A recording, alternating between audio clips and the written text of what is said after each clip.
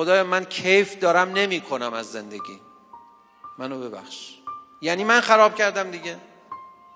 تو که برام فراهم کرده بودی. خدای من سرزنده سر حال نیستم. چه مرگمه؟ منو ببخش. من حتما خودم خراب کردم. من تو همین شرایط باید می باید می بایست عالی ترین انرژی رو داشته بودم. ندارم. من خراب کردم. منو ببخش. منو ببخش. یعنی جبران کن برام. من الان حالم زیاد خوب من نیست. اگه دیدی خدا زود جواب نداد یه کمی ادامه بده. باید فاصله بگیری از این وضعی که داری. یه اتفاقای خوبی میفته. می‌خواد کش بدی می‌خواد ادامه بدی. آثار خوبی برات داره. نترس. وایستا بگو خدا منو ببخش. منتظر بشو.